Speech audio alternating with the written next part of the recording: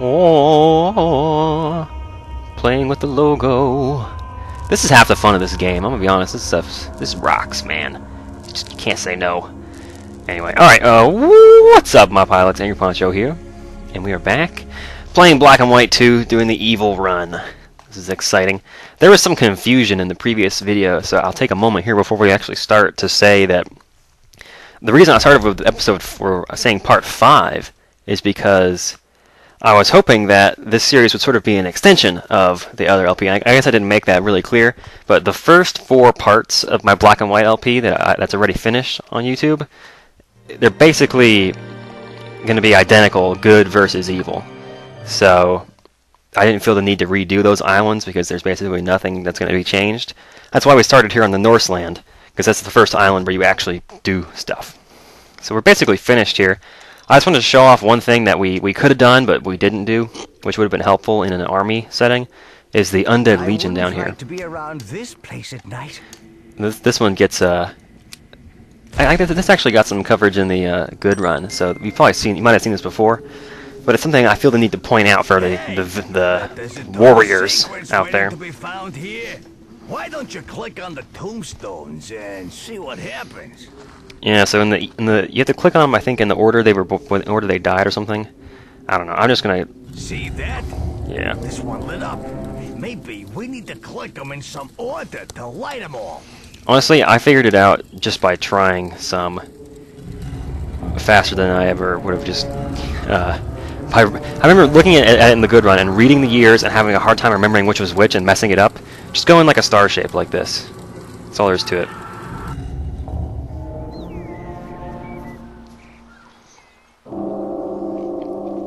Undead Legion! I, just lo I love the way that the devil says Undead Legion after they come out. It's very funny.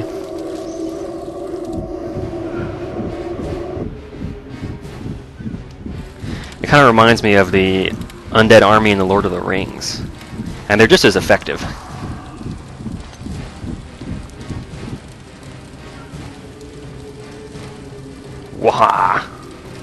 Yeah, so it's a swordsman platoon, I think with like a dozen guys.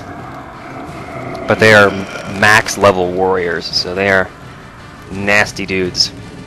I'm not sure why waking these undead Norsemen gets you more people, but well, whatever. Whoa! Our undead legion. We can wreak havoc with these guys. He does the zombie walk, very nice. So you can see that they are an awesome platoon. Yeah, a dozen guys, fully leveled up. They are astounding, which increases their power, their speed. They're just they're rocking. So you can compare that to our, our strongest men who survived the battle, who now have four little uh, pips on their flag. There's only only half a dozen of them that survived. Only six of them lived through that battle. So let me show you what the other things we've done. They've been fairly flat, not too exciting. Oops. That's the one I wanted to look at, actually. So the objectives oil, I went over and did the nut oil thing, which is where you toss the barrels around on these islands over here. Not a super exciting quest, but it does have that fun song in it. If you haven't seen the good LP, you should definitely check it out and look at that that part where we did the nut oil. It's very funny. So then just villagers collecting things, we did all of those without even trying, making disciple breeders. To get the creature to build houses, I just stuck him down here and clicked on each house in turn and had him build them. And then 10 buildings on an impressive area. That's going to be this hilltop here to the left of your town center. That's an impressive area. And then build a field on fertile land. That's pretty easy. Watering things, making disciple worshippers, easy. So we level up a platoon to regular skill by doing the war. I got the creature to entertain people. And then getting him to collect things and kill platoons. It's just a matter of you know, keeping him busy. You need sleep. It's, it's nighttime. Go to bed. What are you doing running around the town? Anyway, so deforesting the land, yeah, forget that. Uh, there have been numerous reports of people online saying that they've gotten every tree, every single tree, and it just never ticks off. So I'm not going to even bugger around with that. I think it's I think it's broken. I spent hours. I actually went back to our world save for the uh, good run, and I spent sure a whole other hour to leave the looking land? for that last tree. Again. And I think the theories are that you might have to plank all of them, like put them all into workshops or, or into not workshops, storehouses or into houses or something. But if, it might be that throwing them in the ocean doesn't get rid of them. Who knows? But I wouldn't bother attempting that one, it'll take too long. Leader, I've been hearing rumors that some more of our people survived the Aztec volcanoes. Some elite archers managed to fight their way clear. Oh, yeah! We need to find them. We need all the elite troops we can get. We need everyone we can get, archers or not. They're on another land. We must go and find them. Yes! Archers, what are we waiting for? Uh-huh. Yeah, so I also threw the Norseman, which is not a very exciting quest. That took about an hour of just throwing him because it always goes in slow motion. I figured I wouldn't show that. Pretty boring. And then look at him, he's up to seven in height, so he's he's growing. He's becoming a, a nasty creature. His muscle is going up and down. We're going to be training him up pretty soon. Uh, we already bought him the first warrior upgrade, so he's good in that regard. When I say training him, I mean we're going to be teaching him what to do and what not to do, because I've only gotten the basics for him. He's not learned everything yet. Onward to Honshai! This place doesn't look so bad. We should be able to take it over with a little effort. Great, more warfare. This is what makes my blood tingle. But if you're impressive, you don't need to win through bloodshed, because you win without having to fight. There doesn't seem to be any opposition. And look, the missing arches. Hmm. Yeah, this land is really easy. Uh, if you're trying to impress them or not, it's still a remarkably easy land. And here, we're going to build our first wonder. I'm very excited ah, about it. There are some juicy towns to ransack. I'm gonna like this place. And here you actually start, you compete in a city building contest with the enemy, because they, start, they don't start with the whole city. What's this? Their city's empty. Another portal. Who does that belong to? The rumors of the Greeks' return are true. My brother has sent me to make this island safe. This I will do. Oh, sounds like a tribal commander, boss. We'd better start building now. These Japanese seem to be formidable builders themselves. And get some armies, boss. They look pretty handy at fighting as well. Yeah, so the, uh... Yeah, it's a little bit crazy. The enemy here is going to be... They, see, they give you these... We got, let me Sorry. see, 50 warriors. Now that's nice, boss. Real nice. Yeah, so they give you 50 archers to start with, and you might think, hell, let's just run over there and take the town. got a real people factory. The more people But- we have, the bigger armies we can recruit. It's designed so that they have more. That way you can't snap them up like that. We must oppose them. The Aztecs command us to. Alright, let's see what I can get going here. An army marches on its stomach, and these guys will eat twice the normal rate. So keep an eye out on your stores. I'm going to district things a little differently this time. Start building a wall inside your influence. Yes. Enemies outside it, but not in an enemy's influence. So, well, this is the only wall we need, really need to build, so you can just stick it down wherever. That It's already started for you. Will not protect you from the magnificence of our city. Same thing about that one. Very easy. Now, one of the things you can do is here. Let me. Uh, wait, where's the objectives menu? So one of them is to take over enemy towns. Well, there's some towns that are just sitting right here behind your your town. So it's go and snatch those up with your archers right at the very beginning, and you'll you'll be doing well. All right, so we need to get some stuff going here. Now, there's ore rocks in the way, which is kind of annoying because I'd like to put those ore rocks into the uh, storehouse. I'm to go as far as I can with this. That's pretty good. This game is a little hard to commentate on. I, I didn't remember how hard it was the last time I did it because there's so many things I want to talk about when I'm LPing this game because there's so much happening. store enough to keep the fallen of this conflict alive for years to come. Yup. So we're already taking over enemy towns, which is nice. A warring nation needs resources, and this storehouse will be full of them. So we're gonna put the fields down on fertile land. To build an archer armory. Oh, I will. Let's do it. Their land will soon yield them all they require. You don't have a whole lot of trees when you start this land, so you're gonna want to propagate some forests if at all possible. Just plant some trees out by themselves. So they choose the path of war, a path we know every inch of and will defend with honor. So did I get an influence ring over there? cities, No, they migrated. You can erect can match my city. See, look, the people have all migrated from the town because it's too close to our town. And so their the, buildings are being destroyed. I think it's part of the resources that they bring with them. Not totally sure. This area will be totally cleared out, and we'll be able to use it. It's nice. So I'm sending these archers to take over this town too. So look at that wall built without too much trouble. Still need more fields, huh? I think they just want those because they're hungry. Let's just put some food in the storehouse. Oh, still? Okay. Alrighty. I'm going to fill up the open areas with fields because we, we got to get our food going pretty quickly here. Especially with our army already being on the ground. They want a... They want a... What? Really? It surprises me that they want the uh, altar already, but okay. I'm going to try and expand my influence ring. So I'll put it over here. I don't want to kill all the trees either, so I'm going to try and save some of them. Dang. That's not what I want to do. Alright, and then we'll just put the rest in here. So, God building, you lose something like a quarter of the resources that you're using. Maybe it's more like a fifth, but it's it's enough that you got to be careful when you're building things and with God building, because you are wasting resources by doing it. So this land, we're still not going to get too crazy into our our army nation kind of. It's hard to explain exactly. We're not going to have a war economy in this land. Our only option. We're gonna win. Uh, did I get my? Oh, hello. We got a migration coming in. That's nice because you get that good bonus of people right at the beginning. It's only six from that town. Let's see if they're gonna want to migrate from over here. Does it look like it? I don't have an influence ring back there. I, what? What is happening? Are those people gonna migrate or what? If I, I should either get an influence ring or they should migrate to my town. I don't know. Oh, look, they're building the wall. That's good for them. It is good for them, you know, they've got to have a wall around the town.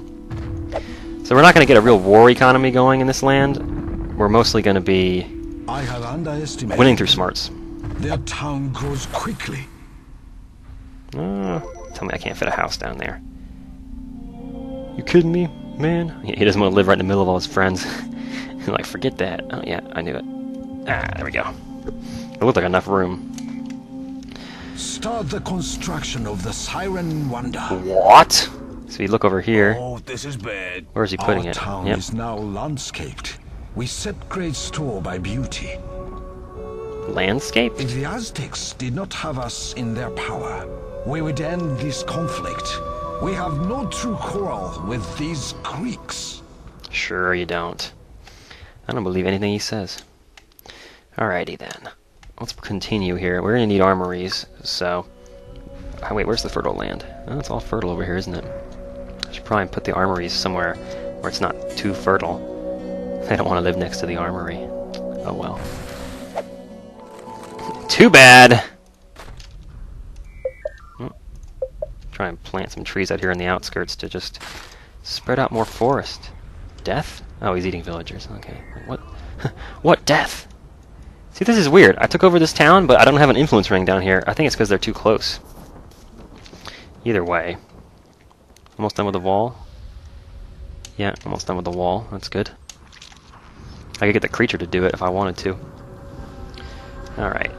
So some trees are already growing down here where I planted these. That's handy. We'll throw it into the altar. Why not?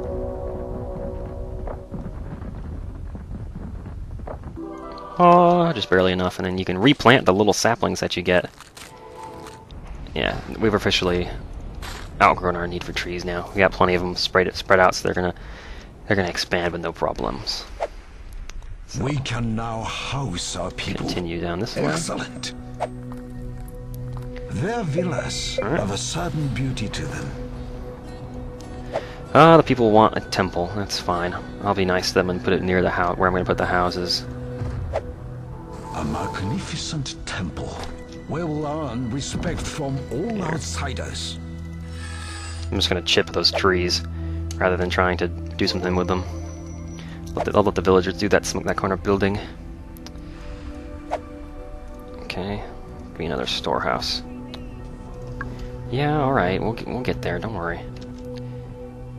Let's put it here. Why not? Get the building started.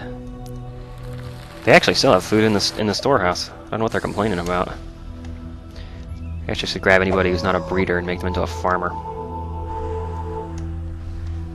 Disciple farmers. And the rest will be builders. Although honestly, you could do the building yourself and you wouldn't lose much time. Don't, I don't ever make that many builders. builders. Because eventually you're going to have enough buildings, and you're not going to be building enough that it's going to matter to you. I'm a little miffed about there not being an influence ring down here. I have to extend down there and grab those people soon. Okay. Ah, gather that for you there. Just fill up these spaces with farms. Oh, now they have... Now they're fine. They're happy with it now. Okay, whatever. Now that the farmers are going. We need more mana. Yeah, they, they need a lot of things. We'll get there. Come on, hold the line, boys. You know what I could do is I could go ahead and take this town. And just put the wall out here. Eh, that would be fine, I think. Where's my gatehouse? Can I open it before it's done being built? Yes, I can. Great. Stick together! These archers are going to be getting some experience from all this town capturing they're doing. Don't run around, you idiots. Look at this town. I can't just grab this wall, can I? Yeah. For some reason, you're, you're allowed to just snatch up this wall even though it's outside your influence ring. But that one is too The far off, I guess. codes seem uneasy foe. As the teachings of war say, fear not your enemy. Yeah, you best be fearing your enemy, boy. These people join us and take up our code of honor. Yeah. We will benefit from their strength. The strength! Oh, what is this? He's building the siren, isn't he? Yeah. I will watch with interest while the siren does her work. This is going to be an interesting thing to deal with. The way we're going to deal with it is we're going to build our own siren. That's what's going to happen. Let me open up the tribute menu and show you what this does. We gain strength in such growing numbers. We cannot fail. So we've got all kinds of goodies going on down here. Let's scroll way to the end and look at the siren. S- Here we go. The siren's call lures, lures all people to believe and join them. So yeah, so it turns enemies into friendlies, essentially. We need more wood. Okay, go and get some wood. There's plenty of trees around here. See, those trees we planted at the beginning of the video, they've already sprouted into little groups of five or six standing around where I put them, see? It's a good way to provide your town with resources, is to start planting trees early. You don't want to run out, that's for sure. More mana, alright. I'll make some worshippers pretty soon. We're going to be wanting to use miracles in this land anyway. See, what I'd like to do is just take all the ones that are breeders, that are already that are done with their jobs, like the men that are just standing around, and just make them worshippers now. Disciple worshippers. Because once once the women are, are pregnant and they don't need to be a disciple worshiper anymore, because they're gonna have that kid when or a disciple breeder anymore, because they're gonna have that kid one way or the other.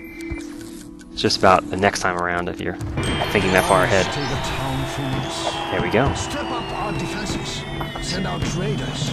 The teachings say we must not let this lie.